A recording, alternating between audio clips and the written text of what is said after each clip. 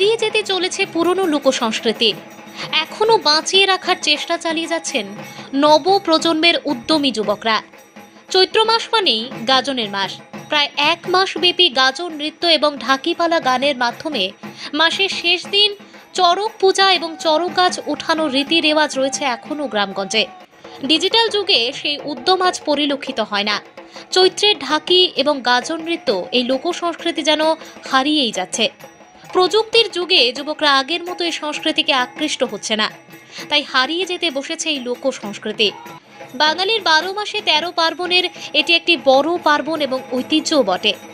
তারপরও এক শ্রেণির উদ্যমী যুবক ঢাকি পালা গান করতে না পারলেও হরগৌরী নিয়ে রাতে কিছু সময় বাড়ি বাড়ি নৃত্য করে চরক গাছ ঘোরানোর উদ্দেশ্য নিয়ে।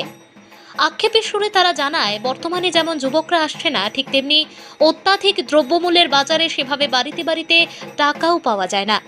পালাগান করতে গেলে পোশাক থেকে শুরু করে রং এবং অন্যান্য সামগ্রী এখন তেমন একটা পাওয়া যায় না এবং পাওয়া গেলেও অত্যধিক মূল্য দিতে হয়। তাই এখন আর ঢাকি পালা করা যায় না। এছাড়া গ্রাম, শহর উন্নয়নের ফলে প্রতিটি বাড়িতে এখন ইট সিমেন্টের বাউন্ডারি ওয়াল এবং বড় বড় গেট হয়ে যাওয়ার কারণে পালা নিয়ে মানুষের বাড়িতে ঢোকাও সম্ভব হয় না।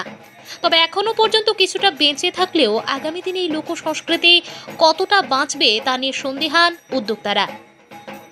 এছাড়া চরক গাছ ওঠানো এবং মেলার প্রাঙ্গণগুলিও ধীরে ধীরে হারিয়ে যেতে বসেছে অত্যধিক জনসংখ্যার কারণে।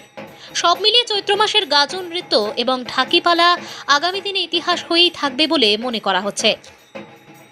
আমাদের শঙ্কর মোট আশ্রম সুকান্তনগর গ্রাম পঞ্চায়েত, আমরা এবার ঢাকি নৃত্য করতে শুরু করছি। সবাই তো সময় হইতে আসে না, সবাই কাজকর্মে ব্যস্ত। আমরা এবার বারোটা থেকে একটা পর্যন্ত আমরা এই সন্ধ্যা ছটা থেকে একটা পর্যন্ত আমরা একটা ঢাকি নৃত্যের আয়োজন করা করছি।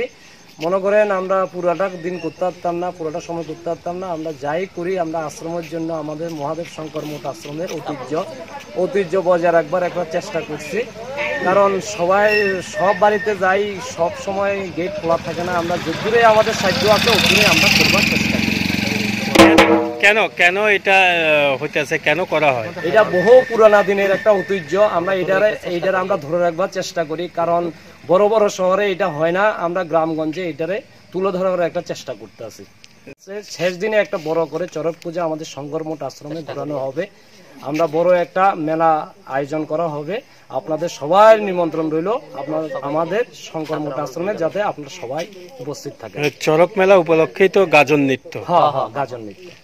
এটা হলো চৈত্র মাসের শেষ দিন। হ্যাঁ সত্য মাসে শেষ দিনে। হয় তার জন্যই এই ধরনের উদ্যোগ নেওয়া হয়। হ্যাঁ হ্যাঁ এই আগে তো বড় বড় পালা হতো এখন হয় না কেন?